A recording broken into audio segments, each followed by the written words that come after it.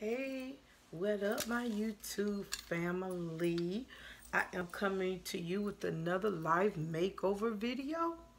And we are on week 22. So I'm to go ahead on and jump right into the video. I hope you enjoyed last week. And I hope you enjoyed this enjoy, enjoy this week. But I do have to say is, I dreaded this week coming of our live makeover.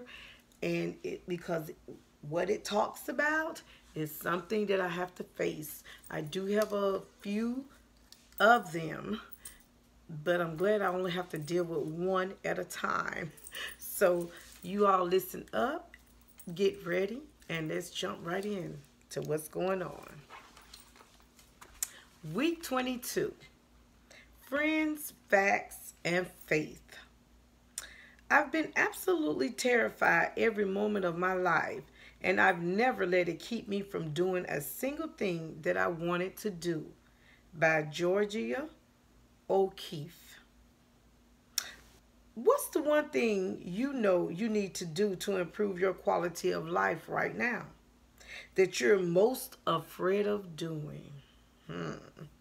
For many of us, fear is a constant companion on the path of personal change.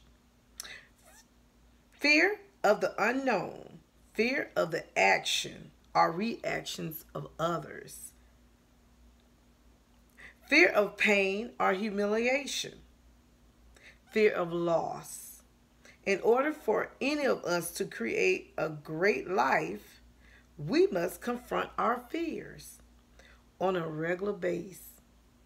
It's just a normal part of the human experience.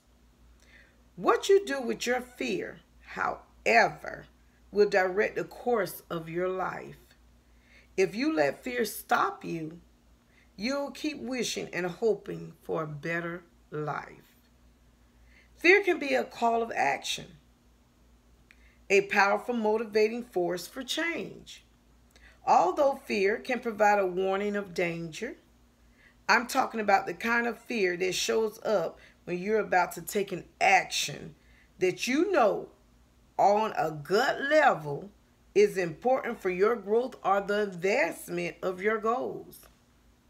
The better you get at handling fear, the more amazing your life will become. I've learned quite a bit about handling fear. I've realized that with the following three things in place, I can overcome just about anything. One, friend and family. Too many of us try to do scary things alone. As far as I'm concerned, that's the old model of I don't need anyone. And it no longer works. Not that it ever worked very well before. Doing scary things alone just makes the chance of staying stuck, stepping back, are holding steady all the more likely. The minute you notice your feelings of fear, stop and identify someone who might be able to support you and ask for help. Two, facts. Sometimes when we're afraid to move forward, it's because we're missing something. Information, a point of view, are the right words to communicate how we feel. For an example, let's imagine that you're focused on building your business and you're afraid of selling your products or services. When you ask yourself, what's missing?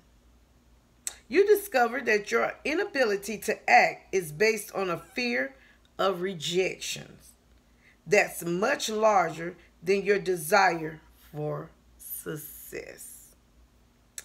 Needing more information about handling rejection, you may research books, talk to experienced salespeople, or even attend a sales seminar. Once you get this information, you'll find that your fear starts to shrink, but it won't necessarily go away completely, which is why you'll need the next step. Step three is faith. Once you have the support in place, which is your friends and family, sorry, and you've discovered and provided what's missing, which are the facts, the last step has to do with the almighty leap. Yup. It's like stepping up to the edge of a cold pool, holding your nose, and jumping in. Taking action in spite of your fear helps you to develop faith in the divine and in yourself. That's the key. Learning to trust that you can handle anything that happens is much more important than whether or not you succeed.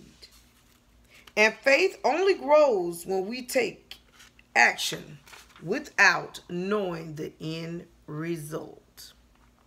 That's faith. walk by faith and not by sight. That's our church model. Okay. So, from now on, when you need to do something scary and you start to waffle, find a friend or family member, get the facts, and seek the faith. All right. In our Life Makeover Journal, this is that Take Action Challenge. This week, take an inventory of the things you've been avoiding out of fear and pick one item. Next, go through the steps above and challenge yourself to get the support you need so you can take action once and for all. Remember, the three steps are friends or family, the facts, and faith.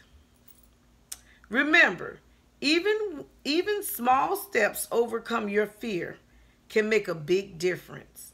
For example, if you need to give a speech and you have a fear of public speaking, one of the most common fears of all, you might prepare by teaching a Sunday school class or reading a good book about public speaking.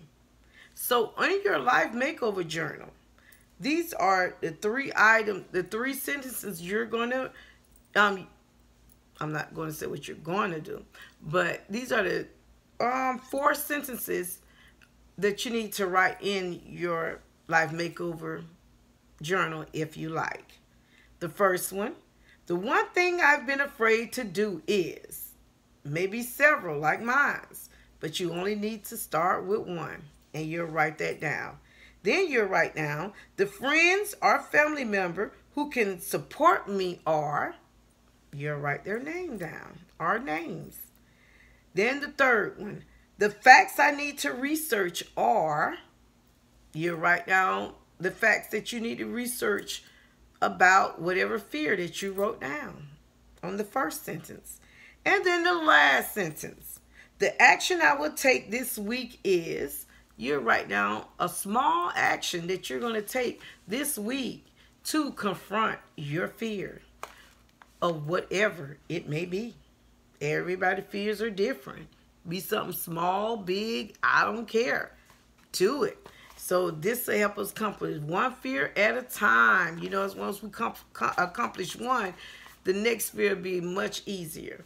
And most of all, out of all we just got to put our trust in the Lord. Even though we don't see it, even though we're sometimes scared, fearful, we just got to, what they say, go to the edge of the pool, hold your nose, and just jump right in. Woo, Lordy. I dreaded this week of Life Makeover. I had already did a peek preview of it on last week. I peeked on it and I'm like, uh, I don't really want to do this one. I wish I can skip it, but it won't be fair to you all and it won't be fair to me because this is a life makeover journey that we're doing in 2018.